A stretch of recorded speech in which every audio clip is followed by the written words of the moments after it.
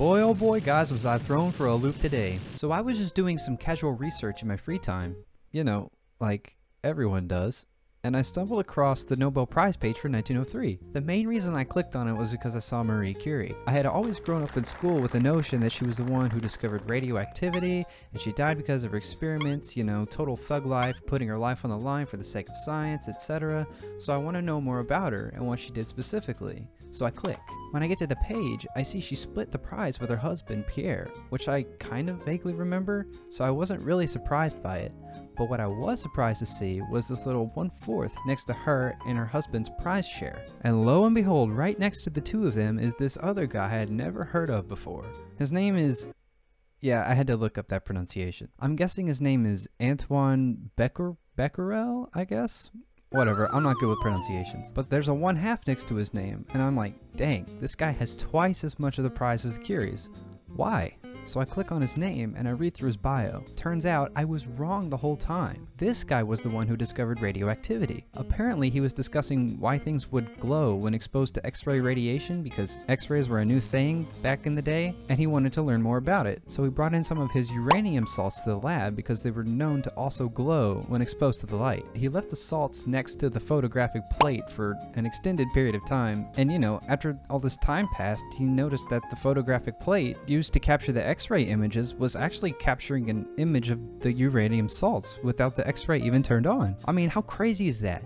He didn't even intend to discover the radioactivity in uranium. He just happened to do the right thing by accident. Anyways, after my mind was blown by that, I went back to Marie Curie's page because I was thinking, well, what did she and Pierre do if they didn't actually discover radioactivity? So after some digging, I found that they were studying Beck Becker. Oh, here we go again.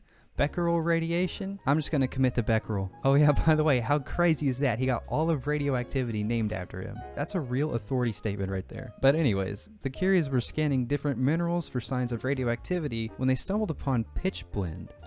Okay, I had to look that up too. I didn't know what pitchblende was. But apparently it's a mineral that contains mainly uraninite, which is basically just uranium and oxygen bonded together, usually like this or like this. But it also contains two highly radioactive elements that were unknown at the time. The Curies noticed that there had to be something more radioactive than uranium in the pitchblende because, weirdly, the pitchblende was even more radioactive than pure uranium after extracting it from the pitchblende. So after breaking down the mineral, they discovered and named two new elements, polonium and radium. I may be wrong about this, but from what I interpreted from this article, they initially thought the polonium was bismuth and the radium was barium because they behaved similarly to those respective elements or something like that. So yeah, guys, my mind has been completely blown. My whole life, I thought Marie Curie discovered radioactivity. Although I've been misinformed, it doesn't change my view on how epic of a person she was. I think most chemists have a life dream of adding an element to a periodic table or even winning the Nobel Prize. And not only did she add two elements in the same year, but she also won two Nobel Prizes. And also, I was happy to learn of the real discoverer of radioactivity. It was a good reminder that a lot of scientific progress happens through accidental discoveries like that. But more importantly, I'm just glad to know the whole truth so that names like that are not forgotten and credit is given where it's due. So anyways, I hope you guys enjoyed my rambling. To all the experts watching, did I get everything right? If not, drop a comment so we can all learn more about the topic. At the end of the day, that's what we're here to do, learn together. Be sure to like and subscribe, and hopefully we can learn something new tomorrow.